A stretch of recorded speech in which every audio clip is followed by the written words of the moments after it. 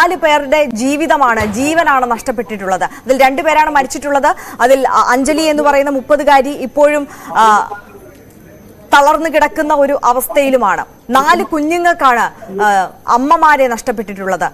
എങ്ങനെ കാണണം ഈ ഒരു വിഷയത്തെ? ഈ ആരോഗ്യമന്ത്രിക്ക് അടക്കം പരാതി നൽകിയിട്ടും ഒരു പരിഹാരവും കാണുന്നില്ല ഒരു നടപടിയും സ്വീകരിക്കുന്നില്ല എന്ന് പറയുമ്പോൾ ഈ സാധാരണക്കാർ പിന്നെ എന്ത് ചെയ്യണം? ഇത് വളരെ വലിയ ഗുരുതരമായ ഒരു വിഷയം തന്നെയാണ്. ആരോഗ്യ മേഖലയിൽ തുടരെ തുടരെ ഉണ്ടായിക്കൊണ്ടിരിക്കുന്ന ഇത്തരം പ്രതിസന്ധികൾ നമ്മെ വല്ലാതെ ഭയപ്പെടുത്തി.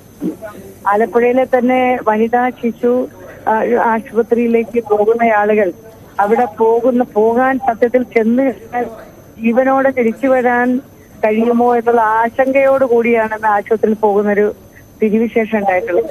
അപ്പൊ ഇത് വളരെ ഗൗരവമായ വിഷയമാണ്. ആരോഗ്യമന്ത്രിയും ആരോഗ്യ വകുപ്പും ഒക്കെ അവരിങ്ങനെ മാർക്കറ്റിംഗ് നടത്തിക്കൊണ്ടിരിക്കുകയാണ്. അവരെ സംബന്ധിച്ച് മേനി പറയുകയും എതിർക്കുന്ന ആൾക്കാരെ അടിച്ചിരുത്തുകയും നിയമസഭയിലടക്കം നമ്മൾ കണ്ടു. പ്രതിപക്ഷ നേതാവ് അടക്കം ആരോഗ്യ മേഖലയിലെ പോരായ്മകൾ ചൂണ്ടിക്കാണിക്കുമ്പോൾ അതിനെയൊക്കെ വാദമുഖങ്ങൾ ഉപയോഗിച്ചുകൊണ്ട് അവർ അതിനെ അതിന്റെ മുനെ ഒടിക്കുന്ന രീതിയിലുള്ള നിലപാടാണ് എടുക്കുന്നത്. ആരോഗ്യമന്ത്രി ഇങ്ങനെ ഇത്തരത്തിൽ പരിഷ്കരിച്ച കുറെ കാര്യങ്ങൾ പറഞ്ഞുകൊണ്ട് വിശേഷമില്ല.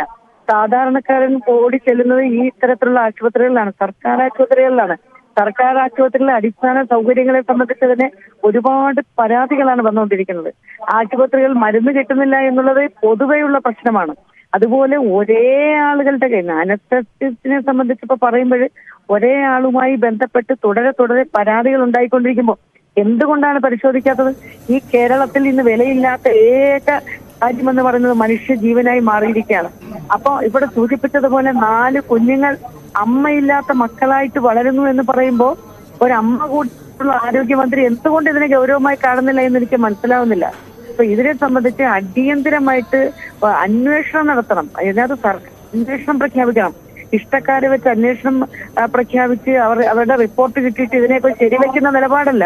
സ്വതന്ത്രമായ ഏജൻസിയെ കൊണ്ട് നാലാമത്തെ സ്ഥിതിവിശേഷം കൂടി ഉണ്ടായപ്പോൾ അന്വേഷണം നടത്തി അവിടുത്തെ പോരായ്മകൾ പരിഹരിച്ച് സാധാരണക്കാരന് ഓടിയെത്താനുള്ള സാഹചര്യം ഉണ്ടാക്കാനുള്ളതാണ് എനിക്ക് ഇതിനെ സംബന്ധിച്ച് പറയാനുള്ളത്. കുറ്റക്കാരായിട്ടുള്ള ആളുകളെ നിർബന്ധമായും മാതൃകാപരമായിട്ട് ശിക്ഷ കൊടുക്കണം. നമ്മൾ കണ്ടതാണ് കോഴിക്കോട് ഉണ്ടായിട്ടുള്ള സംഭവങ്ങളിലടക്കം ആരോഗ്യ വകുപ്പും കേരള ഗവൺമെന്റും കുറ്റക്കാരെ സംരക്ഷിക്കുന്നതിന് വേണ്ടിയിട്ടുള്ള ശക്തമായ നിലപാടെടുത്തുകൊണ്ടാണ് മുന്നോട്ട് പോകുന്നത്. ആശുപത്രിയിലെ മുഴുവൻ ഡോക്ടർമാരും മോശമാണ് എന്നുള്ള അഭിപ്രായം ഞങ്ങൾക്കില്ല. പക്ഷേ ഇതിനകത്ത് ഒരാൾക്കെതിരെ നിരന്തരമായി ആക്ഷേപങ്ങൾ ഉണ്ടാകുമ്പോൾ നിരന്തരമായി ഇത്തരം പ്രതിസന്ധികൾ റിപ്പോർട്ട് ചെയ്യുമ്പോൾ മനുഷ്യജീവന് പ്രാധാന്യം കൊടുത്തുകൊണ്ടുള്ള ഒരു ഒരു ഒരു സംവിധാനമായിട്ട് ആരോഗ്യവകുപ്പ് മാറ്റണം എന്നുള്ളതാണ് ഇതേ സംബന്ധിച്ച് എനിക്ക് പറയാനുള്ളത്.